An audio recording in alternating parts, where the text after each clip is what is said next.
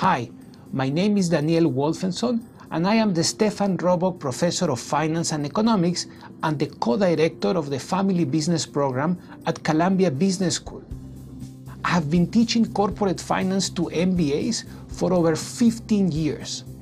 I also do research in corporate finance and organizational economics. I have studied firms of all different types and sizes, from the role that large business groups, such as the Korean Chaebol or the Japanese Keiretsu, play in an economy, to the ownership structure and control sharing agreements of small privately held firms. Lately, however, I've focused my research on family firms, a common organizational structure around the world.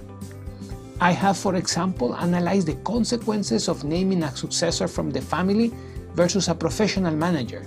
I have studied the motivation of employees in family and non-family firms, among other topics. The material we will cover in this set of courses is based on the course I teach at Columbia Business School.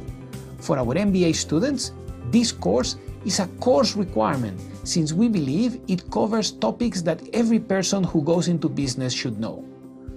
The Corporate Finance Professional Certificate contains several short courses covering the basic concepts of finance, such as the time value of money and the relationship between risk and return.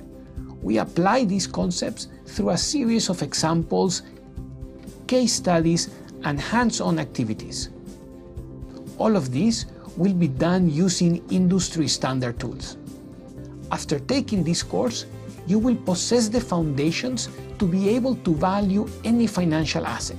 Specifically, in the course, we will learn how to value stocks and bonds, and we will devote a large part of the course to valuing entire companies. I hope to see you in class. Enroll now and join me as we dive into corporate finance.